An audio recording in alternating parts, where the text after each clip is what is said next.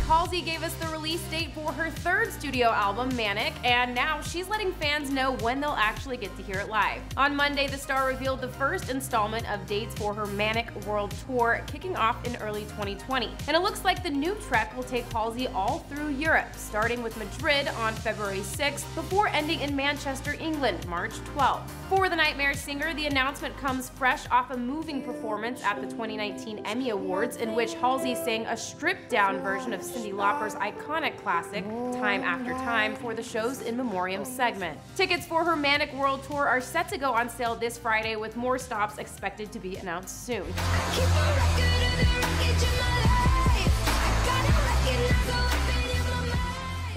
In the meantime, to check out the current list of dates, head on over to Billboard.com. And until next time for Billboard News, it's your girl, Jordyn Rolling.